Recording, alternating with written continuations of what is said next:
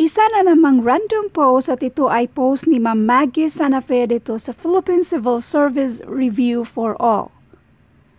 4 square root of 3, i-multiply natin sa 5 square root of 3. Is it letter A, 20 square root of 3, B, 27, C, 60, or D, 180? Unahin natin yung shortcut, pero i-rewrite muna natin. So this is 5 square root of 3. 4 times 5 and that is 20 times 3 is equals to 60. So yan na yung sagot. Now, para maintindihan yan, dun muna tayo sa example. Mag-example muna tayo para maintindihan yung shortcut natin. Later, ipapaliwanag din natin kung paano naging ganyan lang, ganyan lang pala kadali. At yung i-example natin ay of course yung mga madaling numbers lang. 2 square root of 16, tapos i-multiply natin sa 3 square root of 16. Diba ito lang ginawa natin? 2 times 3 is equals to 6. Tapos i-multiply natin sa parihong base which is yung 16. Tapos 6 times 16 and that is equals to 96. Diba yan yung ginawa natin dito? Kung isa-isahin natin yan, isa-isahin natin. 16 square root of 16 and that is equals to 4. So 4 times 2 is equals to 8. Next, square root of 16 is equals to 4. Tapos i-multiply mo sa 3, 3 times 4 is equals to 12. Kung ito ang i-multiply mo, 8 times 12, 96 pa rin yung sagot.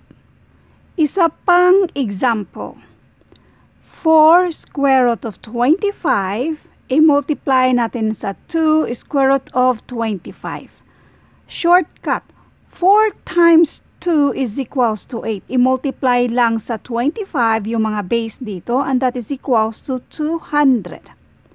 Kung isa-isahin mo, 4 square root of 25 is equals to 5. So 4 times 5 is equals to 20.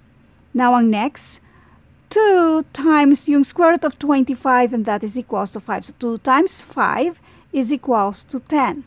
20 times 10 and that is equals to 200. Pariho lang sila. So therefore, bakit ka bakit pa pahihirapan mo pa ang sarili na isa-isahin mo ito? Kung pwede naman, ito lang yung shortcut. 4 times 5 tapos i-multiply lang sa base na 3. So 20 times 3 is equals to 60. Bakit kamo? Kasi kapag pariho, yung ganito ba, itong square root natin, square root of 3, tapos i-multiply mo sa same na square root of 3 or exponent of 2, pareho lang yan. This is the same as square root of 3. I-multiply mo yan siya. I-cancel mo yan and that is equals to 3. Cancel mo lang yung radical sign dapat pareho yung base. Example, square root of 25 times square root of 25 and that is equals to 25 lang din. Kasi kung isa-isahin mo yan, square root of 25 and that is equals to 5 times yung square root of 25 and that is equals to 5. 5 times 5 is equals to 25.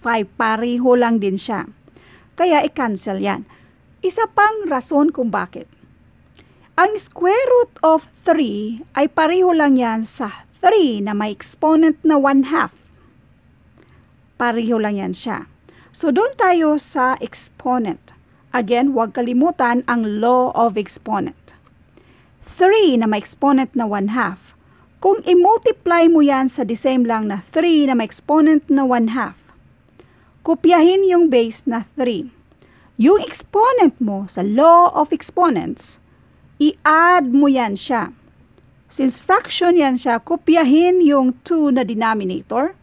Tapos i-add mo yung numerators nila. 1 plus 1 and that is equals to 2. So yung 3 na may exponent na 2 over 2, ang 2 over 2 ay pariho lang na 1.